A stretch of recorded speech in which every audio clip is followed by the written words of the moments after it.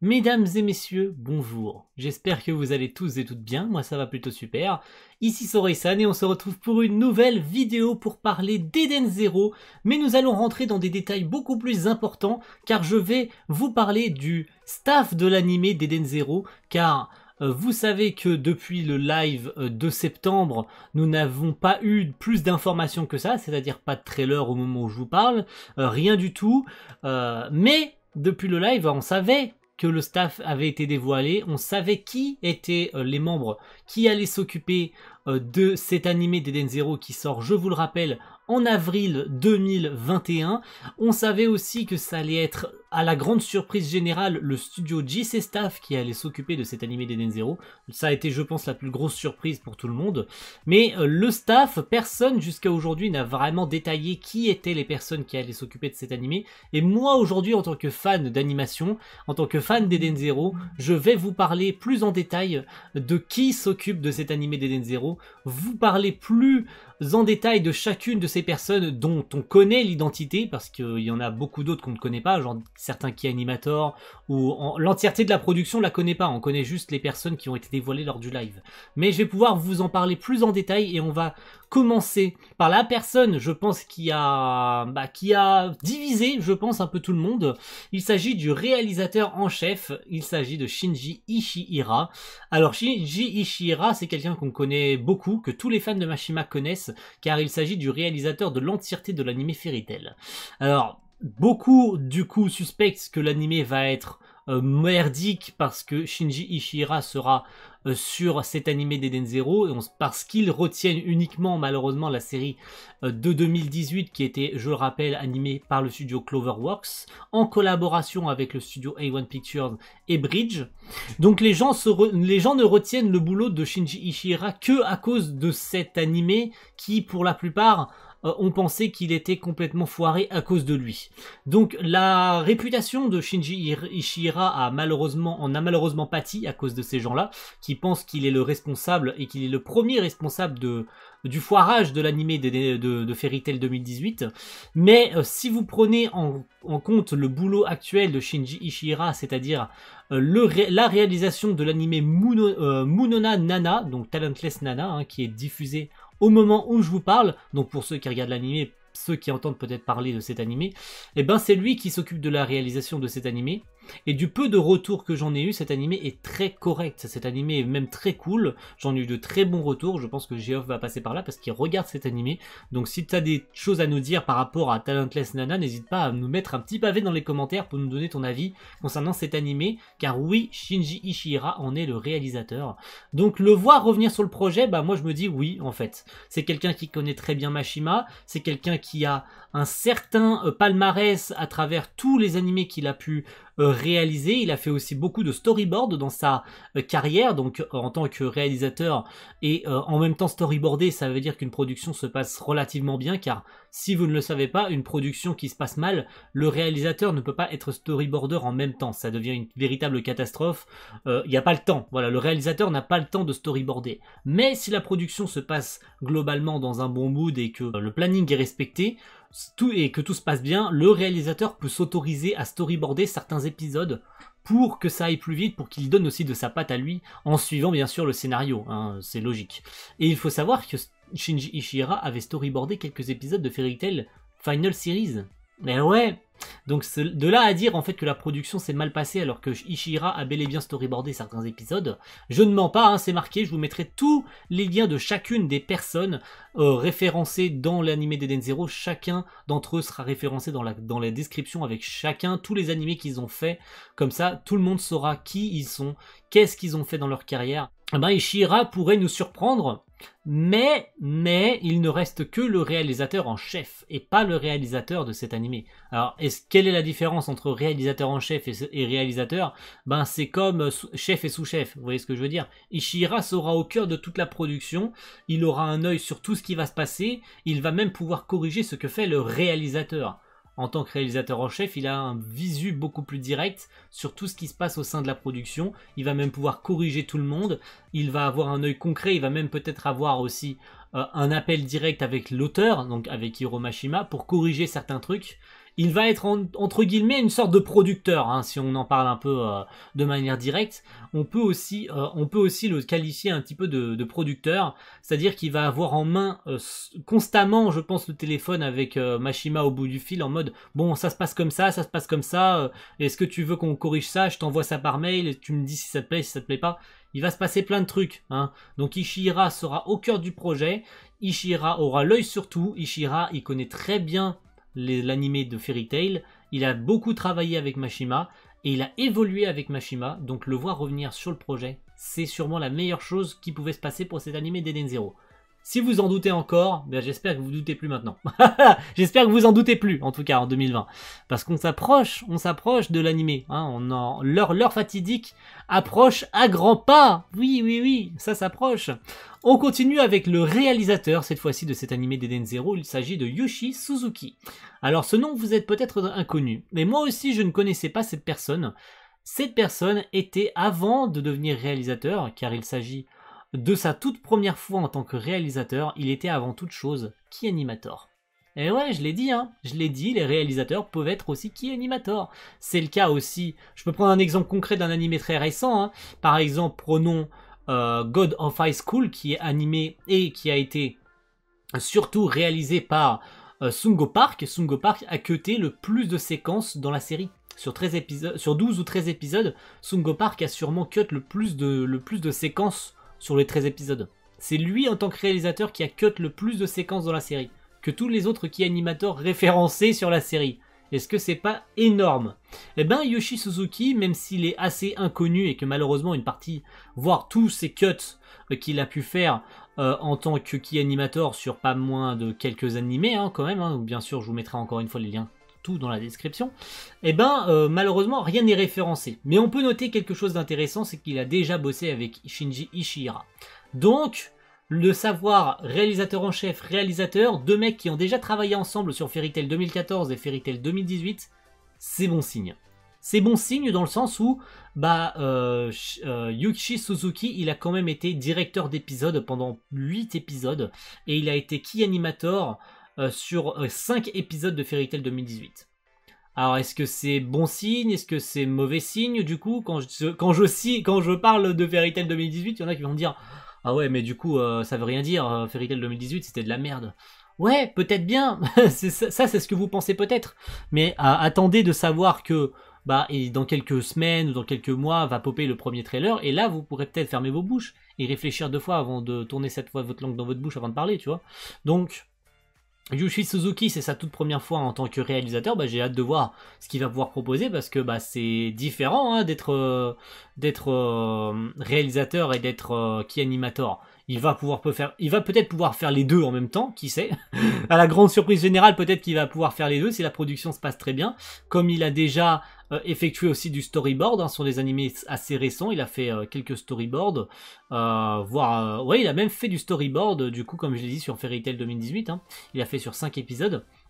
Donc de savoir qu'il a déjà storyboardé, qu'il a déjà fait de la animation et qu'il a déjà travaillé avec euh, Ishihara et qui se retrouve aujourd'hui, je pense, par piston. Hein, je pense sincèrement que c'est par piston qui s'est retrouvé là.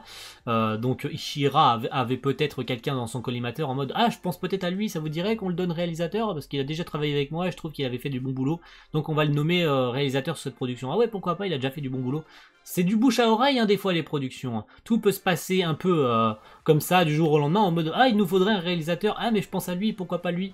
Tu vois, tout peut arriver. Des mecs qui ont même peut-être jamais travaillé dans ce genre de, boulot et qui commence, du coup, comme Yoshi Suzuki, c'est sa première fois en tant que réalisateur. Donc il peut se passer beaucoup de choses hein, dans une vie. Hein. On peut commencer complètement. On peut commencer par être euh, euh, animateur, euh, par être intervalliste et finir réalisateur plus tard dans une, dans une série, voire même fonder son propre studio et créer ses propres séries animées. Il peut arriver n'importe quoi dans une vie. C'est arrivé à bon nombre de gens dans la, dans la Jap Animation de commencer très très bas et de monter très très haut aujourd'hui et c'est des légendes. Donc tout peut arriver. Yuji Suzuki, à toi de jouer, fais-nous plaisir. C'est à toi de nous montrer que tu es capable de faire en tant que réalisateur. Voilà, à toi de nous faire plaisir mon frérot. On continue avec un nom qui a aussi fait parler beaucoup, même si je pense sincèrement qu'il va pas falloir non plus monter euh, trop en crescendo et se dire Waouh, c'est génial, ce mec qui s'est occupé de cet animé là et tout. Non, va pas falloir non plus sauter au plafond. Je parle de Hirota Mitsutaka, qui est le scénariste de cet animé d'Eden Zero. Alors, ce mec, un peu comme Ishihira, il a commencé dans les années 2000. Et il a un palmarès de sale fils de gentil. Eh ben, euh, scénariste, c'est son boulot. Scénariste, c'est un boulot qui lui sied à merveille parce qu'il a fait que ça dans sa carrière. Et il a bossé sur un nombre d'animés assez conséquent. Hein. On peut aussi noter Hunter Hunter, car si vous le rappelez, si jamais vous n'êtes pas au courant, et je tiens à vous le préciser, le compositeur de cet animé d'Eden Zero, il s'agit euh, de euh, du compositeur d'Hunter Hunter. Donc euh, c'est pas rien comme information. J'ai plus du tout son nom, mais je vous le mettrai au montage parce que essayé de le chercher dans ma, dans ma tête, mais j'arrive pas à le trouver. Donc si jamais je retrouve le nom du, du compositeur qui va s'occuper d'Eden Zero, je vous le rajouterai au montage parce que j'ai oublié. Eh ben, euh, de savoir que euh, Mitsutaka Hirota va s'occuper de, de, cet animé d'Eden Zero, bah pas surpris, pas surpris quand tu connais le palmarès du bonhomme, pas surpris quand tu sais qu'il a fait un nombre d'animés assez conséquent, tout sera dans la description. Je me répète 50 fois, mais je le redirai encore et toujours parce que personne n'écoute ce que je dis, ok? Donc, allez checker et allez me dire si jamais vous vous doutiez encore de cet homme, allez voir un petit peu, peut-être qu'il y a des animés que vous avez déjà vus, et euh, dans, son palmarès, c'est peut-être vous allez me dire ah ouais mais du coup c'est lui qui a travaillé sur ça, c'est lui qui a scénarisé cet, animé là et tout. Vous allez me dire ah ouais du coup bah pas de souci à se faire avec cet homme là, il va peut-être gérer très très bien Eden Zero. Bon voilà, euh, la première chose que les gens ont retenu, c'est qu'il s'est occupé du scénario et de quelques, quelques épisodes plutôt. Il a scénarisé quelques épisodes de Kanojo Okarishimasu, donc l'animé de 2020, hein, je vous le rappelle, hein, qui avait grand bruit, et qui revient en 2021. Donc on suppose que Mitsutaka Hirota, enfin en 2021, c'est pas sûr, mais l'animé a été annoncé, ça c'est sûr. J'allais dire une bêtise, mais l'animé a été officialisé la seconde saison. Donc on doute, on se doute que euh, Mitsutaka Hirota s'occupera de cette seconde saison de Kanojo Okarishimasu. Lui, il va faire son boulot, c'est tout ce qu'on lui demande, et on lui souhaite bonne chance. Voilà. Pour terminer, et ensuite on passera à la key animation, je vais vous parler du Kara Designer, mais je vais mettre un point sur les i parce que je pense que cette personne a beaucoup fait parler ces derniers jours. Il ne s'agit pas d'un Kara Designer. Parce que Sako Yurika, je ne sais pas comment quelqu'un a pu se tromper en pensant que Sako Yurika est un homme. Sako Yurika, de son nom, est une femme. Donc il s'agit d'une Kara designeuse. Parce que ça m'a beaucoup fait chier ces derniers jours de voir que les gens étaient en mode Oh le Kara designer, le Kara designer, le Kara designer. Non, Sako Yurika est une femme. Alors est-ce que ça change quelque chose? Non, mais c'était juste qu'il fallait, que je, fallait que le dise, fallait que ça sorte. Sako Yurika est une femme. Et elle a été, tout comme ses homologues, beaucoup qui animatrice. Et aujourd'hui elle se retrouve Kara designer est-ce que ça change quelque chose? Non, parce que euh, être key animator, c'est baigner aussi dans le character design. Être key animator, c'est respecter le character design. Alors vous allez me dire, oui, mais Sori-san, être character designer, c'est beaucoup plus compliqué qu'être key animator. Je suis d'accord avec vous, en sachant qu'elle a aussi été directrice d'animation, donc ça veut dire qu'elle a dirigé l'animation. Donc ça veut dire ce que ça veut dire, hein. c'est-à-dire qu'elle a été jusqu'à corriger probablement des dogas et des gengas ou tout en se permettant d'être le plus fidèle possible au character design euh, conçu par le character designer, dont elle n'était pas à l'époque. Donc aujourd'hui, c'est elle qui va dessiner les character design d'Eden Zero, et on peut euh, penser que, ben, notamment parce qu'elle a, probablement fait l'affiche d'ailleurs d'Eden Zero, hein, que je vous remettrai au montage, et par rapport au character design qui avait été dévoilé hein, de l'animé, donc c'est elle qui les a dessinés, hein, bien sûr, et eh ben euh, maintenant moi, vous le savez, j'ai eu quelques petits avec ses caractères design. Aujourd'hui, il me cause plus du tout de problème, hein, on verra. Hein. Encore une fois, ce, ne sont que des caractères design. Donc, me fier à de simples images, ça ne veut tout simplement rien dire, en sachant que la plupart du temps, ces caractères design seront noir et blanc, puis ensuite colorisés par l'équipe de photographie lors de la production. Donc, de me fier à des caractères design en couleur et de me dire, bon, euh, les gars, ce sont que des, ce, sont que des visuels euh, donnés comme ça, un petit peu à l'arrache, euh, pour représenter un petit peu les persos. Voilà à quoi ils ressembleront dans l'animé en couleur et tout. Des, ce sont que des visuels qui ont été donnés un petit peu comme ça, un petit peu euh, euh, présentement et très rapidement durant le, live. Donc j'ai pas été plus, impressionné que ça par les caractères design de Sako Yurika sur cet animé d'Eden Zero. Donc je vous rappelle qu'on a eu quand même Shiki, Rebecca et Happy. Donc on risque d'avoir probablement les autres d'ici peu de temps avec leur nouveau euh, comédien de doublage, avec leur seiyuu. Donc de savoir que j'ai un petit peu jugé ça sans connaître la personne, bah ça a été un petit peu présomptueux de ma part de me dire bah ah j'aime pas ça, j'aime pas ça, en sachant que bah je savais pas que Yoriko euh, Sako Yorika bah était qui animatrice, de me dire bah c'est une jeune dans le métier, qu'elle commence en tant que character designer, mais qu'elle a, été quand même derrière euh, qui animatrice bah, elle a quand même de l'expérience, même si son, si sa, carrière a commencé seulement en 2017 et uniquement chez JC Staff, donc je pense que ça a joué aussi sur, euh, la sélection euh, de, son boulot, d'avoir plutôt été choisi en tant que, que de caractère designer sur cet animé d'Eden Zero de savoir qu'elle a déjà qui animé euh, quelques séquences sur des animés de JC Staff, sur, que, que sur des animés de JC Staff, hein. pardon, pour préciser, pour préciser, elle a travaillé que sur des, euh, que sur des animés de JC Staff. Donc sa carrière, elle tient uniquement à ça, donc je pense que ça a aussi joué quand le staff a dû se, se réunir pour cet animé d'Eden Zero. Voilà. Donc j'ai rien de plus à dire concernant Sako euh, Yurika. Donc on verra euh, ce, que, ce ces designs vont donner plus tard euh, pour Wise, Omura, Pino et j'en passe.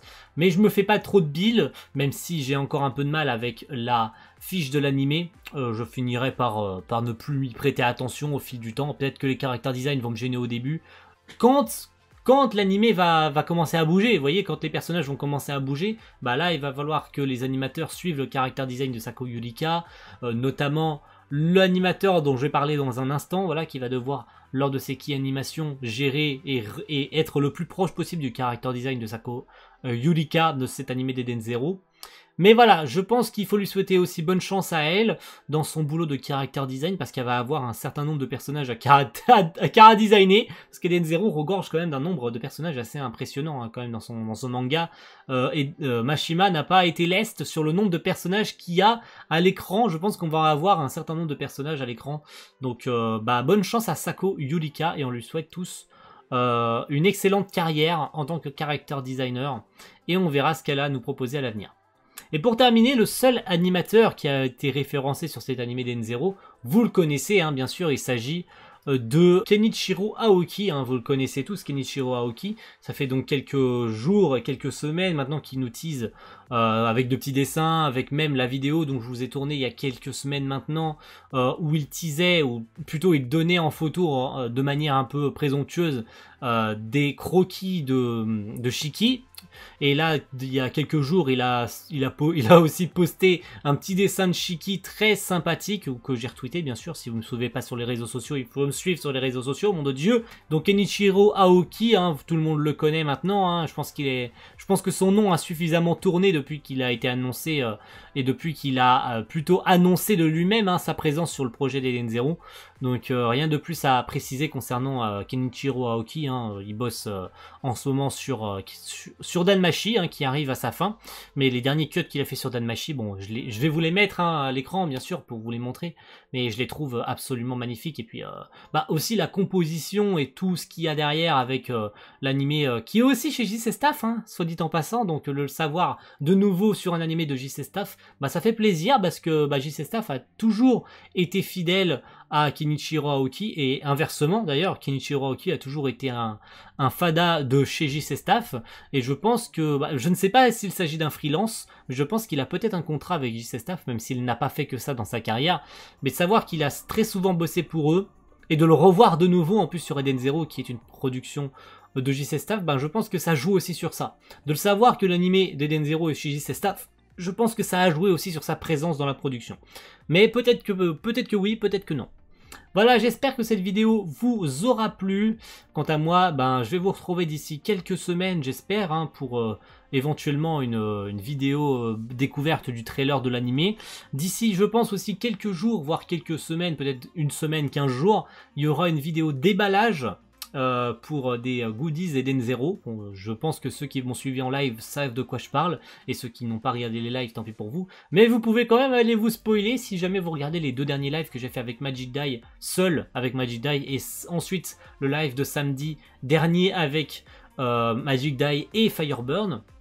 D'ailleurs, d'ici quelques jours ou peut-être quelques semaines, je ne sais pas quand est-ce que ça sera prévu, on se retrouvera tous sur la chaîne de Raito pour un gros gros live Eden 0.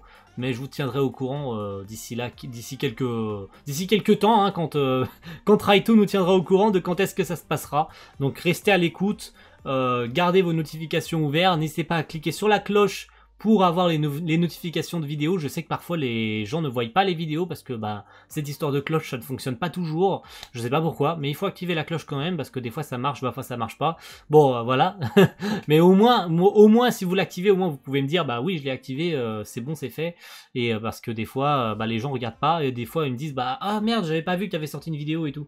Donc n'hésitez pas à activer la cloche, à vous abonner si la chaîne vous plaît pour suivre les actualités concernant Eden Zero, Mashima en général parce que je suis un gros fan de l'œuvre, des œuvres de Mashima.